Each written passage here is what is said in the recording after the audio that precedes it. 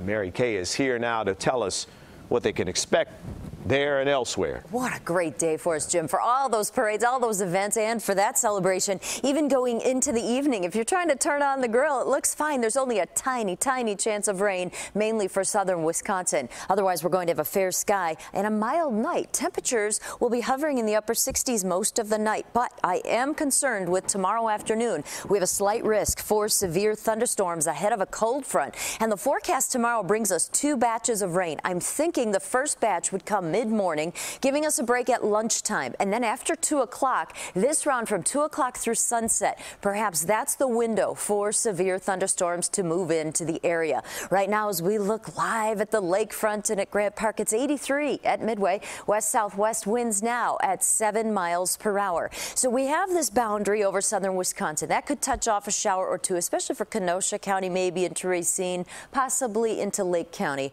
But otherwise, it's this batch of thunderstorm activity activity I'm watching for tomorrow morning. It will weaken a bit as it moves into Minnesota uh, overnight and especially into the Chicago area toward morning. But those scattered light showers now around Janesville, maybe Eagle Lake, and those are going to stay in place and maybe one or two could step over the line there into Lake or McHenry County.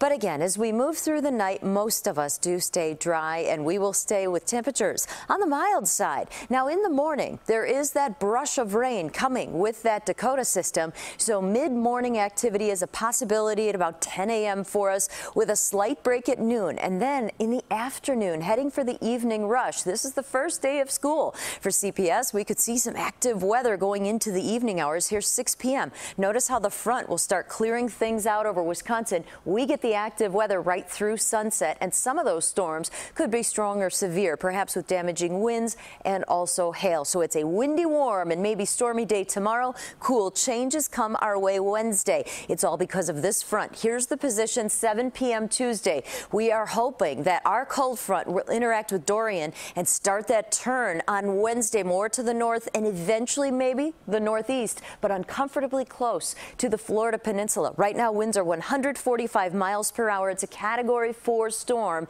and this is the forecast track from the National Hurricane Center. Any deviation slightly to the west would bring the core of the hurricane onshore shore along Florida's east coast. So we are watching that carefully hour by hour as information from the hurricane hunters come in. So tomorrow is summer-like with some thunderstorms for us. But Jim, look at that smooth mm -hmm. sailing the rest of the week. Looks great, Mary Kay. Thank you.